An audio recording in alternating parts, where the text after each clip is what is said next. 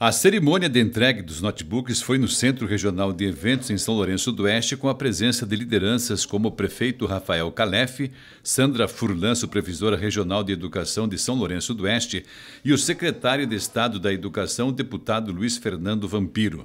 Nos últimos dias, o secretário e sua equipe têm percorrido o Estado para entregar os equipamentos previstos no programa Aprendizagem na Cultura Digital.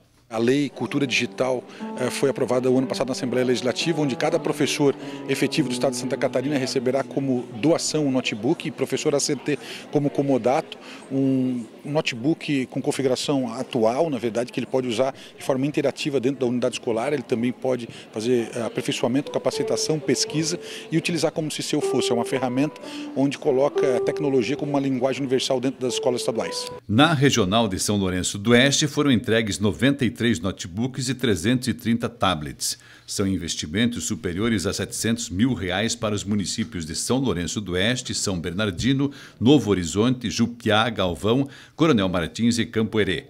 No estado, os investimentos chegam a 170 milhões de reais.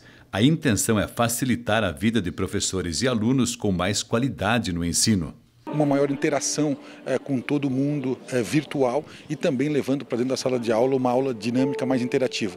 É, obviamente, o objetivo fundamental é reverberar em melhor qualidade de ensino para os alunos catarinenses.